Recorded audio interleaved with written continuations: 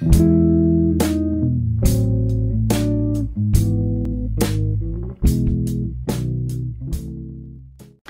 ora, I'm Erin J Doyle. Welcome to my channel. This video is going to be a bit of a writing update. I feel like I've done one of these quite recently, but oh, I've got some stuff to say, mostly because I think I need to talk through some stuff that I'm kind of going back and forth on, so bear with me.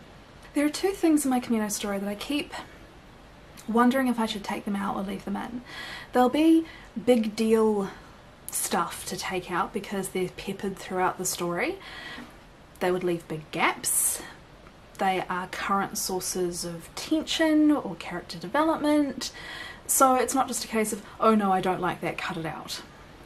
But then there's, well, maybe the story would be better without them kind of thoughts. One of these things is self-talk. I have my character thinking things and I have her thoughts in italics, treated in much the way I would use dialogue. I've done this because for big sections of the story she's completely alone and it's a way of kind of breaking up sections which would otherwise be maybe either too much introspection or too much description by having the characters almost like her voice commenting on stuff except she's not actually vocalizing out loud like a crazy person whilst completely alone. The other thing that the self-talk was doing in the original draft was allowing us to see a slight difference between the character that exists, the actual person, and the front that she presented to the world. Her self-talk would be, you know, um, passionate and sweary or uh, really opinionated or what have you and then her actual reaction to a person and what they were doing might just be like oh okay.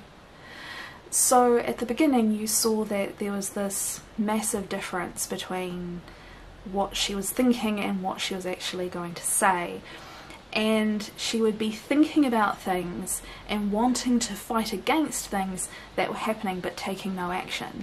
And as the story progressed, the self-talk reduced and the actual action taking increased until we got to the end of the story where there was almost no self-talk and she was actually vocalizing these thoughts and taking actions. So it was a way of showing her growth. However, I am aware that most people are very, very strongly opinionated when it comes to self-talk for a character and not just hate it, but hate you as a person for daring to write it. So that's something that I keep kind of getting a little bit nervous about. The other thing which I keep kind of dancing around back and forth with is whether or not I keep in the various discussions about GMOs. They're there because the character is a biologist, because she is not now, but originally she was very strongly based on me because her experience follows experiences that I have had. And it made sense for the character to have certain things in common with me so that she would make the same decisions that I did, so she would take the same journey.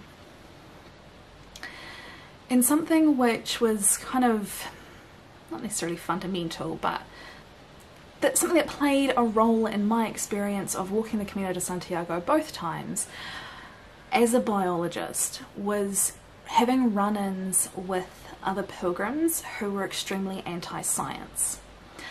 I felt like the community on the pilgrimage was kind of skewed towards that anti-science mindset. So being on the Camino and being surrounded by all these people with incredibly incorrect ideas about certain things, which I'm a legitimate expert on, presented me with this difficulty of do I say something and potentially then face a barrage of at least verbal abuse or do I say something and have someone just be like, well, okay, we can't be friends anymore, and now be by quite sort of socially isolated and by myself a lot?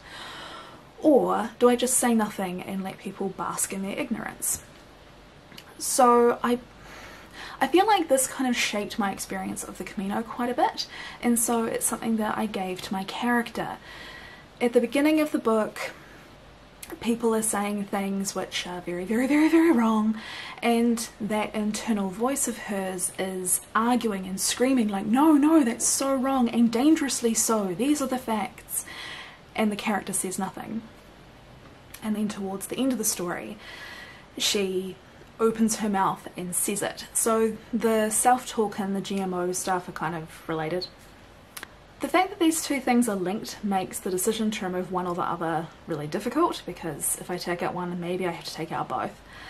I think leaving the scientific stuff in is interesting and potentially good because nobody else who is writing a Camino story is going to write the Camino story of a geneticist walking an ancient Catholic pilgrimage trail and having conversations with anti-science people along the way.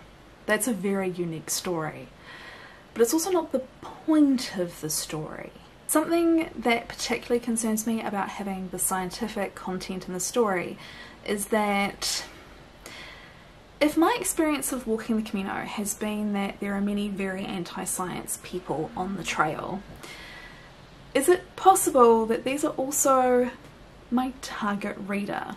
Are people who are interested in the Camino and therefore books about the Camino also anti-science? Are they going to read a book about the Camino, discover actual science as written by a scientist and completely rage out because it doesn't agree with their anti-science mumbo-jumbo opinions? So it feels really risky to leave it in, even though it's so unique as a story point within a story of that type. Something I am currently trying to do is kind of tone down the specifics a little bit and the scene where the main character basically cracks and has her massive no no no actually these are the facts you shut up and sit down and listen to exactly what I have to say because I'm an expert you bastard moment um, I've actually just deleted it entirely. Um, so instead of it being like a big, big thing within the story and the relationships that the character has, it's just something kind of vaguely peppered throughout the manuscript. I don't know how I feel about that. Maybe that makes it pointless. I don't know if this has been coherent. I've had several interruptions now. I don't know what I'm saying. I'm going to stop trying. Let me know down in the comments what you think about both self-talk and the use of a potentially controversial to a certain group of readers possibly issue. Like, is it worth keeping the sciencey stuff because it is legitimately accurate and interesting and different, but could piss off some readers a lot and yeah I'd be really interested in getting some feedback on that because I'm really just going back and forth back and forth on it.